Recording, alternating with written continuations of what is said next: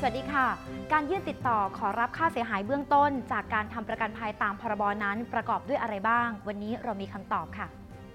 การขอรับจากบริษัทประกันภัยมีหลักฐาน 2 เรื่องครับ เรื่องแรกคือบัตรประจำตัวประชาชน หรือหลักฐานที่ธนาคารออกให้สำหรับผู้ประสบภัย 2 ก็คือใบแจ้งหนี้หรือใบเสร็จรับเงิน กรณีขอรับจากกองทุนเพิ่มอีกหลักฐานอีกหนึ่งเรื่องก็คือ บันทึกประจำวันข้อเกิดเหตุ หรือหลักฐานใบรับรองการเกิดเหตุของผู้ประสบภัย อย่างไรก็ดีครับ การขอรับค่าเสียหายเบื้องต้นเนี่ยต้องขอรับภายใน 180 วัน นับตั้งแต่มีความเสียหายเกิดขึ้น หากคุณผู้ชมมีข้อสงสัยสอบถามข้อมูลเพิ่มเติมได้ที่สำนักงานคอปพสายด่วนประกันภัยหมายเลข 1186 วันนี้ลาไปก่อน สวัสดีค่ะ